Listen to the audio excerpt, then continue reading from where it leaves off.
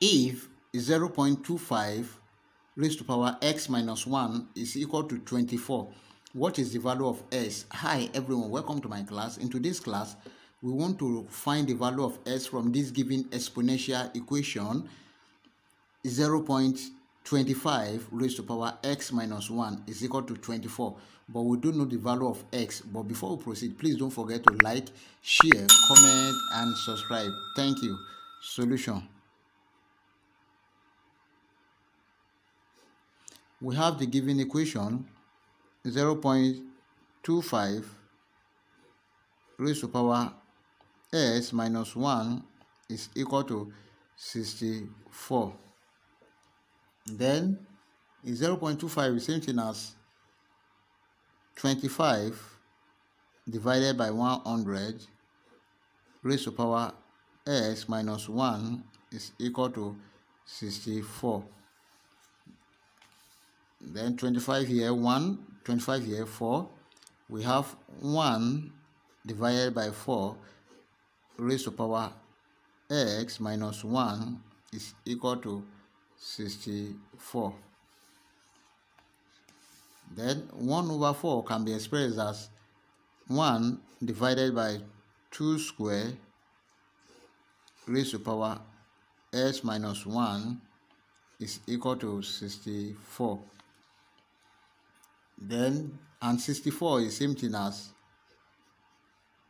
2 raised to power 6 2 raised to power 6 then we have 1 divided by 2 raised to power 2 raised to power x minus 1 is equal to 2 raised to power 6 now we write this as 2 raised to power minus 2 into x minus 1 is equal to 2 raised to the power 6. Then let's open this bracket. We have 2 raised to the power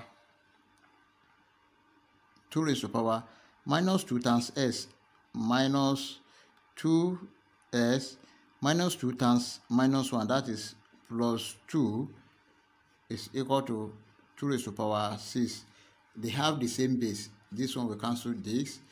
We have minus 2x plus 2 is equal to 6 then we have minus 2x is equal to 6 if this plus 2 cross equal sign become minus 2 then we have minus 2s is equal to 4. Let's divide both side by 2. We have minus 2s divided by 2 is equal to 4 divided by 2. This one will cancel this. We have, and 2 here 1, 2 here 2. We have minus x is equal to 2. Therefore, s is equal to minus 2 that is the value of x. We can check to confirm if our answer is right or wrong. Then from the given equation we have 0 0.25 raised to power s minus 1 is equal to what? 64 and x s is equal to minus 2 then we have 25 divided by 100 raised to power